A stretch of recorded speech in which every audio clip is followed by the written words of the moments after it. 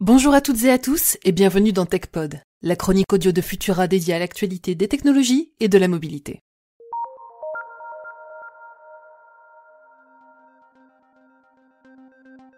C'est le début de l'automne, mais aujourd'hui on parle lunettes de soleil. Pas n'importe lesquelles puisque ce modèle est le produit d'une collaboration entre Ray-Ban et Facebook.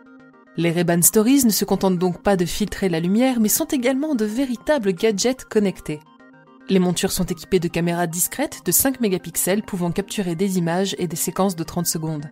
Les haut-parleurs placés dans les branches offrent pour leur part une restitution du son équivalente à celle d'un casque grâce à une technologie qui permet de rediriger les ondes sonores très précisément et à un algorithme qui intervient en renfort pour éliminer les bruits de fond.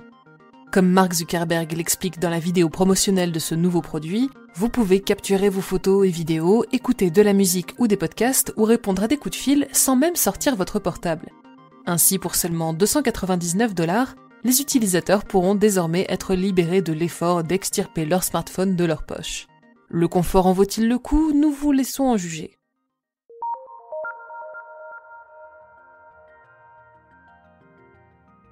Cette innovation nous offre un avant-goût du métaverse sur lequel tous les géants de la tech cherchent à asseoir leur suprématie.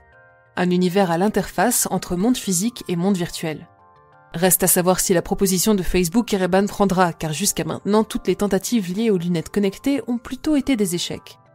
Depuis 2016, Snapchat développe plusieurs modèles de spectacles qui pour l'instant ne semblent pas se démocratiser.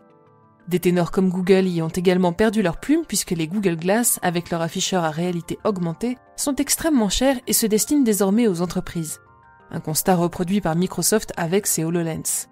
Pour Facebook, la conquête ne sera donc pas aisée, d'autant qu'il reste un gros souci à régler, celui de la protection de la vie privée. Ce n'est pas une première pour le géant des réseaux sociaux, mais cette fois-ci le problème vient surtout de l'objet en lui-même. En effet, il est capital pour l'utilisateur de ces lunettes de s'assurer que les personnes autour de lui ou d'elle sont averties qu'on les filme. Or, un minuscule voyant lumineux s'active dans le coin supérieur de la monture lorsque la caméra est en train de capturer une vidéo. Un voyant bien trop discret que pourrait aisément dissimuler une mèche de cheveux ou une touche de peinture. Pas suffisant pour garantir le respect de la vie privée.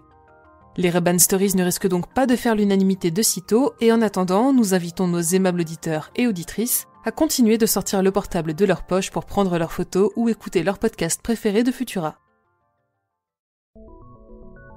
Pour ne rien manquer de l'actualité technologique et scientifique, rendez-vous sur les plateformes de diffusion pour vous abonner à Fil de Science et à nos autres podcasts.